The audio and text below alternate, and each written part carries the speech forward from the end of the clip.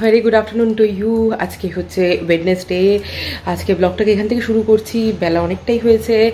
আর আজকে আমার সকাল সকাল উঠে ব্রেকিং নিউজ হচ্ছে, আমার স্নান, পুজো দেওয়া সব হয়ে গেছে। সঙ্গে আমার রান্নাও হয়ে গেছে। আমি এখন একটু বসেছি আর কি চা, একটু রিল্যাক্সে খাওয়ার জন্য। তো চলো, দেখা যাক। আজকে আমার মেনুতে বেশি কিছু নেই, তার জন্য আমার আজকে রান্না হয়ে গেছে। যেমন ধরো দেখাচ্ছি ব্যাপারটা হচ্ছে আজকে মেনু হচ্ছে ডাল আর ডিম ভাজা, আর কালকে লোটে মাছের চচ্চড়ি রয়েছে, সেটা একটু শুকিয়ে নিয়েছি। তো সেই দিয়ে আজ দুপুরটা চালাবো। আর রাতে কি হবে না হবে সেটা পরেরটার পরে দেখা যাবে, কারণ আজকে এখনও পর্যন্ত গতকালের ব্লগ এডিট হয়নি আমার। মানে কোনো কোনো দিন যদি একটুখানি রাতের বেলা শুয়ে পড়ি, ঘুম পেয়েছে বলে, যে কী যে সমস্যা হয়ে যায়, কী করে বোঝাবো আর কি। যাই হোক ওটা আর কি ক্রাইম হয়ে যায়।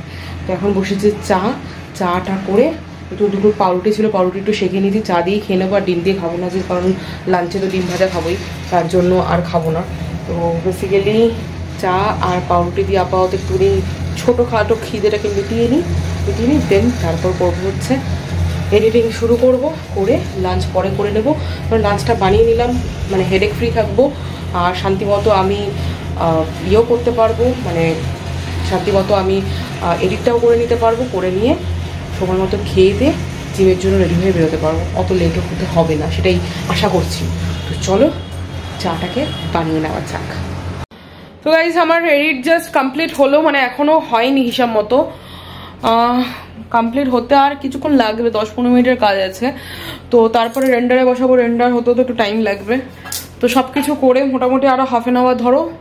তারপরে ব্লগ আপলোড করতে পারব, বেলা তো হয়ে গেছে, কিছু করার নেই আজকে। তো যাই হোক রাত চলে এসছে, তো লাঞ্চটা করব এখন, লাঞ্চটা করে নিই। তারপরে কি দশ পনেরো মিনিটের যা কাজ আছে সেটা সেরে নিই। দশ পনেরো মিনিট লাগবে না, পাঁচ মিনিট, সাত মিনিটের কাজ আছে। তো বাকি চলো, লাঞ্চটা করে নিই। দেখাচ্ছি তোমাদের যে লাঞ্চে কি কি করলাম। এই হচ্ছে ভাত, এই হচ্ছে আজকের সিম্পল ডাল। ডালটা একদম সিম্পল বানিয়েছি। কিচ্ছু করিনি মানে এক্সট্রা খাটিনি, কারণ আমার রেডি হয়নি ডিমের অমলেট আর হচ্ছে কালকের লোটে মাছের ঝুড়ো হয়ে গেছে। আজকে বানিয়ে দিয়েছি ঝুড়ো। তো চলো লাঞ্চ কমপ্লিট করে তারপর কথা বলছি একেবারে। ঠিক আছে এডিট ফেডিট কমপ্লিট করে তারপর কথা বলব। মাঝখানে আর কোনো ব্রেক না। তো very good evening to you guys ব্যাপারটা হচ্ছে যে চোখ মুখ দেখে মনে হচ্ছে যে ঘুমিয়েছি কিন্তু ঘুমোতে পারিনি। একে তো এডিট করছিলাম এডিট করে আপলোড করলাম, অনেকগুলো কাজ ছিল, সেগুলো সারলাম, বসে বসে সেগুলোই করছিলাম। বেসিক্যালি উঠে একটু সন্ধ্যাবাতি দেখালাম, দেখিয়ে মাথাটা ধরেছে বলে চা খাব ভাবলাম। তার আগে ভাবলাম যে মার থেকে গতকাল যে সন্দেশটা নিয়েছিলাম গাজরের, সেটা একটু খাই। তো সেটাই খেতে বসেছি। অ্যান্ড তোমাদের একটু দেখাই। ইটস রিয়েলি ইয়াম খেতে হয়েছে। মানে মা এখানে দিয়েছে কয়েকটা, এরকমই। দারুণ খেতে হয়েছে। তবে একটা জিনিস হয়েছে, তোমাদের দেখাচ্ছি। দেখো দেখাতে পারব কি না এই দেখতে পাচ্ছ? চোখের মধ্যে না, হঠাৎ করে দেখছি যে এই জায়গাটায় ব্লাড ক্লট হয়ে আছে। মানে কেন হলো এটা বুঝতে পারছি না। মানে তোমাদের যদি কোনো আইডিয়া থাকে, একটু কমেন্ট করে জানিও তো কেন হয় এগুলো, বা কেন মানে হয়েছে তোমাদের যদি আগে কারোর হয়ে থাকে। আমি তো কিছু বুঝতে পারছি না। এটা ফার্স্ট দিদি তো ফার্স্ট টাইম তো আমি বুঝতে পারছি না। জানি না নো আইডিয়া তো চলো, এই একটু আম খাব ভাবলাম, দেখি আম তো ডুবিয়ে রেখে দিয়েছি জলে। রাজ্যের সাথেই খাওয়ার কথা ছিল, রাজ তো বেরিয়ে গেল, সে খাবে কিনা ঠিক আই এম নট শিওর তো যদি আমি আম না খাই, তাহলে হয়তো চা খাব। দেখে কি করি না করি, তোমাদের জানাচ্ছি। চলো। ক্যামেরাটা আরেকবার অন করতেই হলো। তোমাদের আমি একটা জিনিস দেখাই। এই যে ব্যাপারটা দেখতে পাচ্ছ? গাজরের সন্দেশটা আমার মা কি জানি কি দিয়ে বানিয়েছে। মূলত হচ্ছে নারকেল তো রয়েছে সঙ্গে, ড্রাই ফ্রুটস রয়েছে। খোয়া কি দেবে মানে দিয়েছে বলেছিল। আর কি দিয়েছে ঠিক জানি না। যদি পারি তো কোনো সময়। মাকে এই রেসিপিটা শেয়ার করতে বলব। এটা খেতে দারুণ হয়েছে, দারুণ। মানে তোমাদের বলে বোঝাতে পারব না। তোমরা একাই চার পাঁচটা, দশটা খেয়ে নিতে পারবে। একেবারে বসে। খুব দারুণ হয়েছে, দারুণ হচ্ছে। হুম।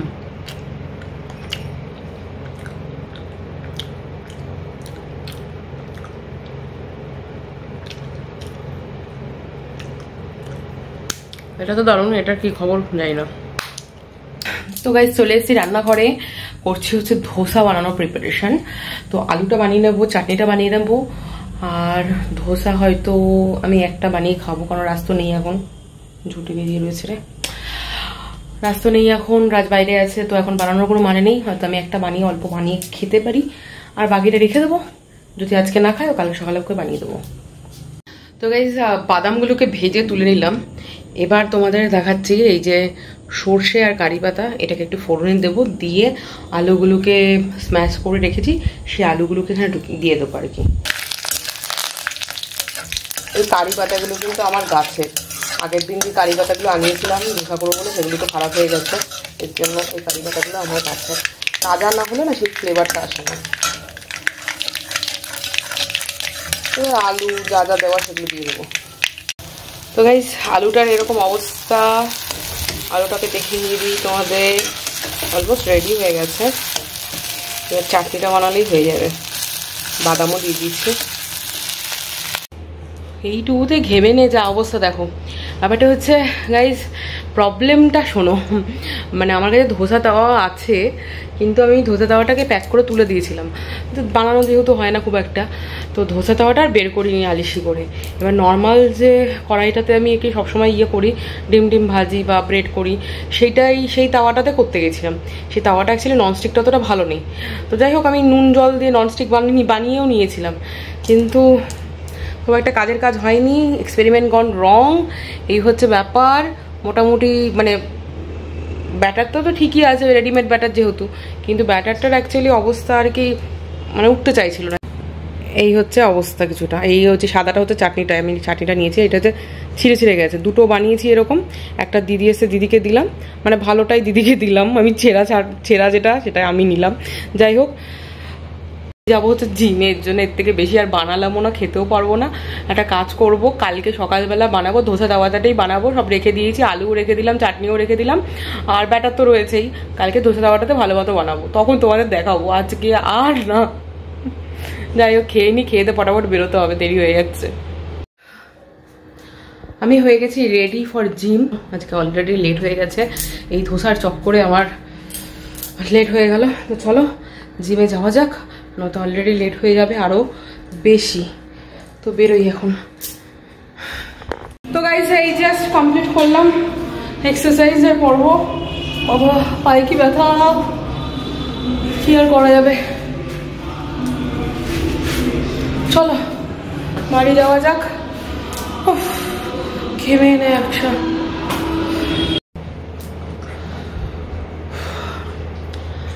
তো অনেকক্ষণ আগেই এসছি, এসে একটুখানি বন্ধুর সাথে কথা বলছিলাম ফোনে আর কি। আর একটু রেস্টও নিচ্ছিলাম। প্রচণ্ড গরম আর চোখের এটা ওটা কটকট করছে এখন। এই যে। এরকম লাগছে কেন যাই না। যাই হোক, তোমাদের আরেকটা বিষয় একটু জানাতে মানে সবাই জানো, আশা করি। তবু একবার বলি মানে খুব মানে এই বারাসাত, মধ্যমগ্রাম আর বিরাটি এইসব লাইনে হাবড়া শুনছি প্রচণ্ড পরিমাণে বাচ্চা চুরির ঘটনা ঘটছে অ্যান্ড যেটা প্রচণ্ড মানে দুঃখজনক আর কি। তো খুব সাবধান থাকতে হবে, কারণ বাচ্চা তো, তারা তো কথা বলতে পারে না, তারা বোঝেও না। তো আমরা প্রতিবাদ জানাতে পারি, তারা পারে না। তো সেক্ষেত্রে মা, বাবা পেরেন্টস বা বাড়িতে যারাই আছো, তাদের একটু আমার মনে হয় একটু বেশি সতর্ক হওয়া উচিত। আরেকটা বিষয়, দুদিন আগেও আমি একটা ভিডিওতে বলেছিলাম যে আমাদের পাড়াতে এরকম একটা ঘটনা ঘটেছে, মলেস্টেশনের কেস আর কি। বাচ্চাটাকে মলেস্ট করেছে। তো সেক্ষেত্রেও কিন্তু মা বাবা জানি না কি করছিল অ্যাকচুয়ালি ভগবান জানে, কারণ অ্যাকচুয়ালি এটা এক মাস যাবৎ চলছিল। তো আবারও বলছি, বাচ্চারা খুব নাজুক হয়, ওরা অত অত কিছু বোঝে না। আর আমাদের শিক্ষা ব্যবস্থাতে এখনও পর্যন্ত সেই পরিমাণ পর্যন্ত যায়নি। ইংলিশ মিডিয়াম স্কুলগুলোতে হয়তো গেছে। ব্যাড টাচ গুড টাচ এই ব্যাপারগুলো তারা বোঝে না। আর কিছু কিছু বাচ্চার মা বাবা আমি এখানে নোটিস করি, আমাদের পাড়াতে রয়েছে, আমি শুনি আর কি। নোটিস করি ইভেন শুনি। তাদেরকে চিপসের প্যাকেট আর এগরোল মোগলাই এতটাই প্রিয় যে বাচ্চাকে দিয়ে মানে বাচ্চাকে দিচ্ছে ভেবে, তারাও খেতে পারবে ভেবে। বাচ্চাকে পাঠিয়ে দেয়।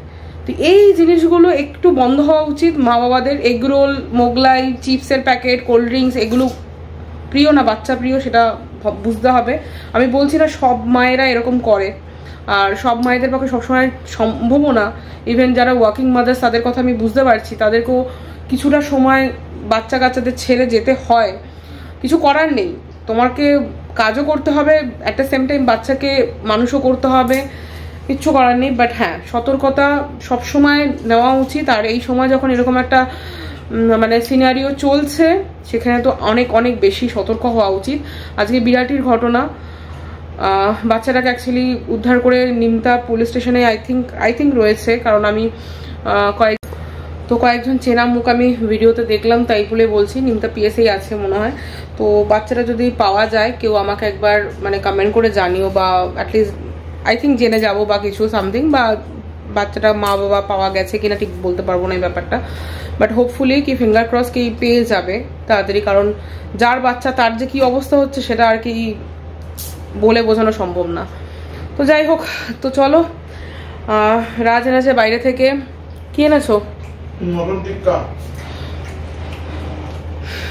তো আমার খাওয়ার ইচ্ছা নেই। সন্ধ্যেবেলা দেখলেই তো ধোসা গেলাম এর জন্য আর পেটটা ভরা ভরা।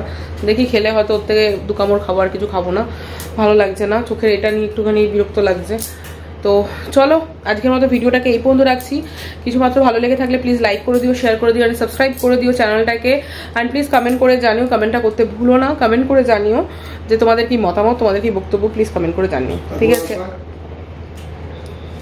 সব জায়গায় বিশেষ করে বি প্রিকশন নিতে হবে বাচ্চাদের ক্ষেত্রে। কারণ অনেকে আসে, যায়, ওদেরকে হালকা করে ক্লোরোফর্ম বা কিছু করে কিছু, অনেক কিছু করা যায়। আর এই- ক্রাইমগুলো হচ্ছে। বাসাতে দু, তিন দিন আগে হয়েছে, আমাকে একজন আর কি বলল। যাই হোক, খেয়াল রাখবে। তো চলো, টাটা। ফেসবুক থেকে দেখে থাকলে প্লিজ পেজটাকে ফলো করে দিও কিন্তু। চলো, আজকের জন্য টাটা বাই বাই দেখা হচ্ছে নেক্সট ব্লগে